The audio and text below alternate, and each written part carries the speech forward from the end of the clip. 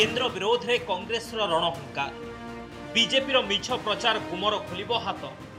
କେନ୍ଦ୍ର ବିରୋଧରେ ଗାଁ ଗାଁରେ ସୃଷ୍ଟି କରାଯିବ ଜନସଚେତନତା। ରାଜଧାନୀ ଛାଡ଼ି ବୁଥ୍ ଜଗିବେ ନେତା।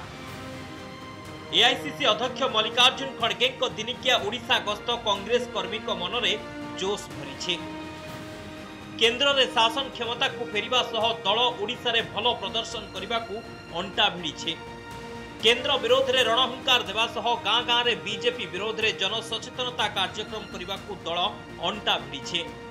କେନ୍ଦ୍ରରୁ ବିଜେପି ସରକାର ନ ହଟିବା ଯାଏଁ ଦେଶରେ ଗଣତାନ୍ତ୍ରିକ ଶାସନ ବଞ୍ଚିପାରିବ ନାହିଁ ବୋଲି ଖଡଗେ କହିବା ପରେ ଏହାକୁ ମୁଖ୍ୟ ପ୍ରସଙ୍ଗ କରି ଲୋକଙ୍କ ପାଖକୁ ଯିବ ଦଳ।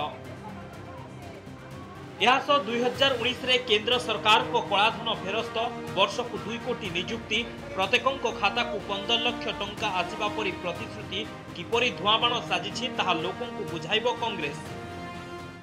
ଗଣତନ୍ତ୍ର ଭାରତ ଦେଶର ଗଣତନ୍ତ୍ରକୁ ସମ୍ପୂର୍ଣ୍ଣ ହତ୍ୟା କରିଦେବେ। ବର୍ତ୍ତମାନ ଯେଉଁ ହତ୍ୟା ଚାଲିଛି ଏ ହତ୍ୟା କଣ୍ଟିନ୍ୟୁ ରହିବ ତା ସହିତ ପୁଟିନ ଭଳି ଆଉ ନିର୍ବାଚନ ହେବନି। ସମସ୍ତ କର୍ମୀମାନେ ଗାଁ ଗହଳି ଯାଇ ଗଣତନ୍ତ୍ର ହତ୍ୟା କରିବା ଏବଂ ପୁଟିନ ପୁଟିନ ଭଳି ଏକଛତ୍ର ଶାସନ କରିବା ତାକୁ ଗାଁ ଗହଳିରେ ପହଞ୍ଚାଇବା ଆବଶ୍ୟକତା ରହିଛି। ଓଡ଼ିଶାରେ କେମିତି ସରକାର ପ୍ରସ୍ତୁତ କରିବ? ବୁଥ୍ ଲେବୁଲ୍ରେ ବୁଥ୍ ଲେବୁଲ୍ରେ ଯେଉଁମାନେ ଏଜେଣ୍ଟ ରହିବେ ତାଙ୍କୁ କିପରି ଭାବେ ଟ୍ରେନିଂ ଦିଆଯିବ? ଏବଂ ଯେପରି ଭାବରେ ଲୋକଙ୍କ ପାଖରେ ପହଞ୍ଚି ହଁ ନିର୍ବାଚନରେ କିପରି ଲଢ଼ିବ କେମିତି ହେବ କହିଛନ୍ତି ସେ କାଲି ଯେଉଁ କଥା କହିଛନ୍ତି ଗାଁକୁ ଯାଅ ବୁଥ ଜଗ ଏ ଦରଦାମ ଉପରେ ଏ ଆଇନ ଶୃଙ୍ଖଳା ଉପରେ ଏ ବେକାର ସମସ୍ୟା ଉପରେ ଲୋକଙ୍କୁ ବୁଝା ଲୋକଙ୍କ ପାଖେ ରୁହ ଏ କାମ ଆମେ ଚାରି ମାସ ହେଲା କରୁଛୁ ଏଆଇସିସି ଅଧ୍ୟକ୍ଷ ରାଜ୍ୟରେ ଦୁର୍ବଳ କଂଗ୍ରେସ ସଂଗଠନକୁ ମଜବୁତ କରିବାକୁ ନେତାଙ୍କ ସହ ଏକ ଘଣ୍ଟାରୁ ଅଧିକ ସମୟ ଧରି ଆଲୋଚନା କରିଥିଲେ ପରସ୍ପର ବିରୋଧରେ ନ ଲଢ଼ି ବୁଥ୍ ମୁହାଁ ହେବାକୁ ରାଜ୍ୟ କଂଗ୍ରେସର ମଙ୍ଗୁଆଳଙ୍କୁ ଖଡଗେ ପରାମର୍ଶ ଦେଇଛନ୍ତି। ଅଧ୍ୟକ୍ଷଙ୍କ ପରାମର୍ଶ ଅନୁସାରେ ବୁଥ୍ କିପରି ମଜବୁତ ହେବ ତାକୁ ଗୁରୁତ୍ୱ ଦେଇ କାମ ଆରମ୍ଭ କରିଦେଇଥିବା କହିଛନ୍ତି ଦଳୀୟ ନେତା। ଆଗକୁ ଓଡ଼ିଶାରେ ରାହୁଲ ଗାନ୍ଧୀଙ୍କ ନ୍ୟାୟ ଯାତ୍ରା ଦଳୀୟ କର୍ମୀଙ୍କ ମନରେ ଆହୁରି ଜୋଶ ଭରିବ।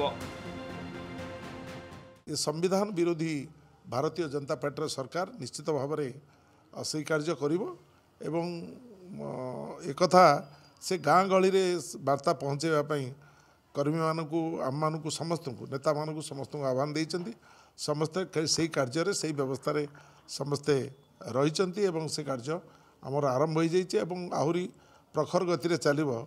ଶ୍ରୀଯୁକ୍ତ ରାହୁଲ ଗାନ୍ଧୀଙ୍କର ଯେଉଁ ଗସ୍ତ ସେ ଗସ୍ତକ୍ରମ ସରିଲା ପରେ ଭାରତ ଯୋଡ଼ ନ୍ୟାୟ ଯାତ୍ରା ଆସୁଛି ଏହାପରେ ପ୍ରିୟଙ୍କା ଗାନ୍ଧୀଙ୍କର ମଧ୍ୟ ଶ୍ରୀମତୀ ପ୍ରିୟଙ୍କା ଗାନ୍ଧୀଙ୍କର ମଧ୍ୟ ସମାବେଶ ହେବ ଏବଂ କଂଗ୍ରେସ କର୍ମୀ ଉତ୍ସାହିତ ଏବଂ ରାଜ୍ୟବାସୀ ମଧ୍ୟ ଉତ୍ସାହିତ ବିଜେପିର ଲୋକ ଦେଖାଣିଆ ଲଢ଼େଇକୁ ଜନତା ବିଶ୍ୱାସ କରୁନାହାନ୍ତି ଓଡ଼ିଶାରେ ସେ ଲୋକଙ୍କ ସହିତ ଧୋକା ଦେଇଛନ୍ତି ଲୋକଙ୍କୁ ଜନତାଙ୍କୁ ତେଣୁ ବିଜେପିକୁ ଏଠି କେହି ବିଶ୍ୱାସ କରୁନାହାନ୍ତି ଭୁବନେଶ୍ୱର ଲୋୟର ପିଏମ୍ଜି ସାଧାରଣ ସଭାରୁ ଏଆଇସିସି ଅଧ୍ୟକ୍ଷ ସିଧାସଳଖ ବିଜେପିକୁ ଟାର୍ଗେଟ କରିବା ପରେ ତୃଣମୂଳ ସ୍ତରରେ ବିଜେପି ବିରୋଧରେ ବ୍ୟାପକ ଜନସଚେତନତା ସୃଷ୍ଟି କରିବାକୁ କଂଗ୍ରେସ ସଜବାଜ ଆରମ୍ଭ କରିଛି। ଏହାକୁ ନେଇ ରାଜ୍ୟ କଂଗ୍ରେସ ଶିବିର ଚଳଚଞ୍ଚଳ ହୋଇଛି। ଭୁବନେଶ୍ୱରରୁ କ୍ୟାମେରାମ୍ୟାନ୍ ସନ୍ତୋଷଙ୍କ ସହ ଚିନ୍ମୟ ମହାପାତ୍ରଙ୍କ ରିପୋର୍ଟ ନନ୍ଦିଘୋଷ ଟିଭି।